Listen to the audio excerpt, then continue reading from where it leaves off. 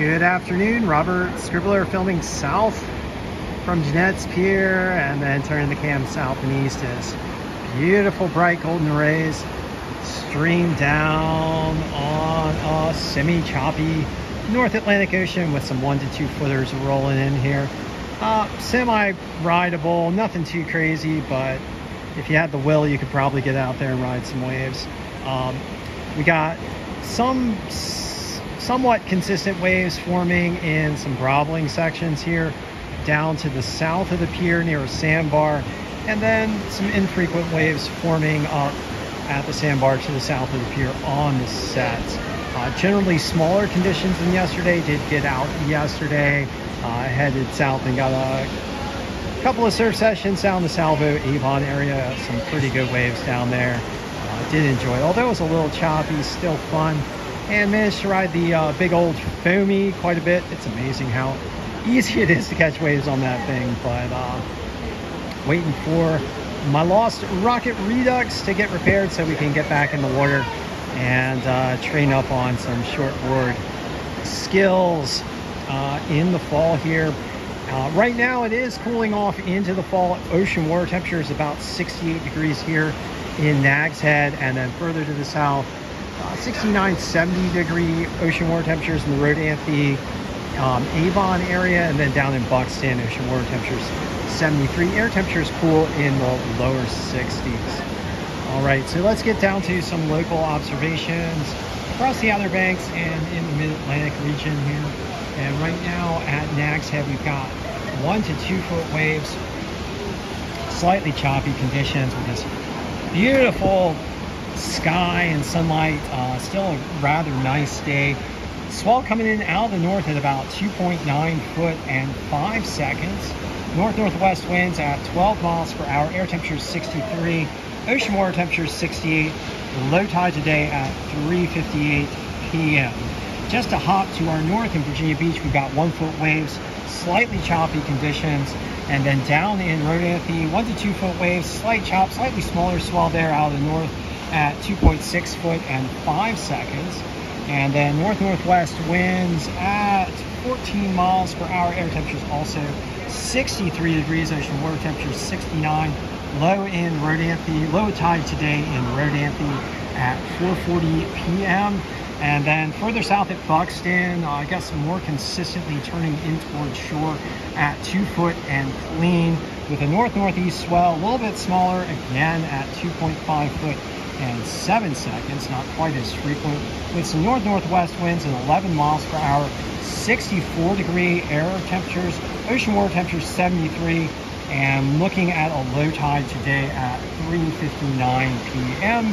Last of all at Frisco, we've got one foot waves and clean conditions. Looking at the broader weather picture with the information provided by the Global Forecast System model and the National Weather Service Surface Service, geez, wow. Uh, National Weather Service, we've got north-northwest and northerly winds continuing behind the front over the next couple of days generally turning toward the east as we get into the day on Thursday, but these slightly choppy and relatively small conditions expected to continue through Friday with the wave forecast indicating that the waves are likely to increase in size and become cleaner on Friday. We'll see how that works out as the wave forecast have tended to indicate cleaner conditions in the semi uh, in the medium to longer range even though winds and choppy conditions have tended to prevail through the middle of October.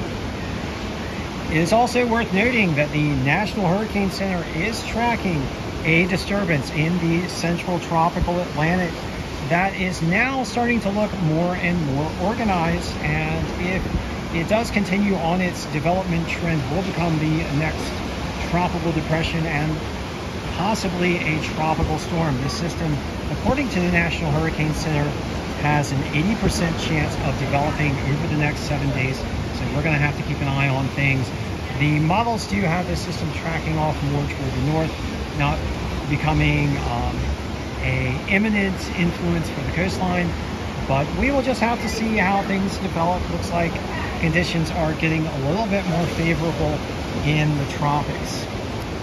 And then overall, just looking at the general forecast, didn't mention this before, but Friday and Saturday, according to the forecast, wave conditions for the Outer Banks uh, looking a bit more favorable. We'll see if that forecast holds. All right, so thank you for joining me for this Tuesday, October the 17th session of the OBX wave report as we watch some small one to two foot waves roll in, no surfers in the water.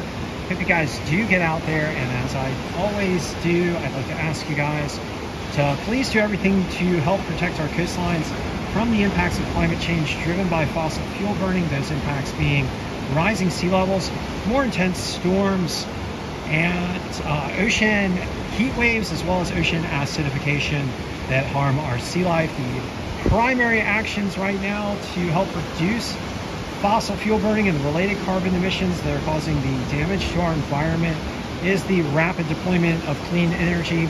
Clean energy being wind, water, solar, and electric vehicles, as well as the various activities to add sustainability features to our activities as human beings here on planet Earth and as those who love and enjoy our beautiful coastlines. All right, so thank you for joining me once more for this session and hope you guys do get out into the water and down to the beaches to enjoy the beautiful fall.